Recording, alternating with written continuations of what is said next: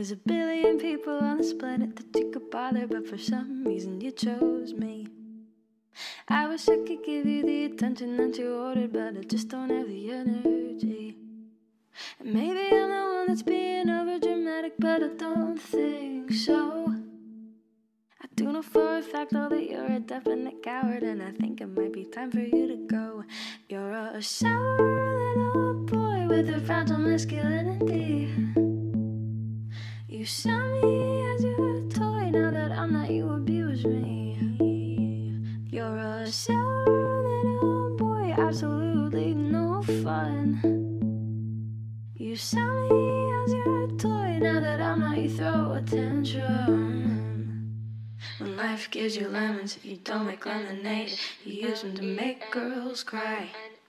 You take those lemons, no sugar at all, and you squirt it right into our eyes. When life gives you lemons, you don't make lemonade. You use them to make girls cry. You take those lemons, no sugar at all, and you squirt it right into our eyes. When life gives you lemons, you don't make lemonade. You use them to make girls cry. You take those lemons, no sugar at all, and you squirt it right into our eyes.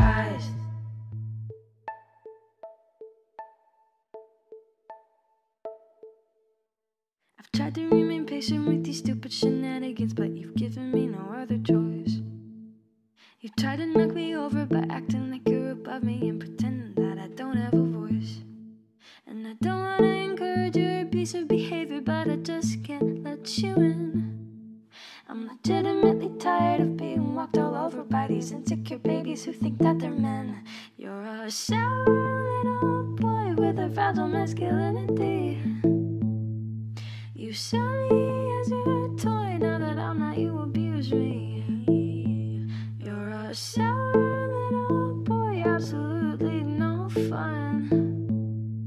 You saw me as your toy, now that I'm not, you throw a tantrum. When life gives you lemons, you don't make lemonade. You use them to make girls cry. You take those lemons,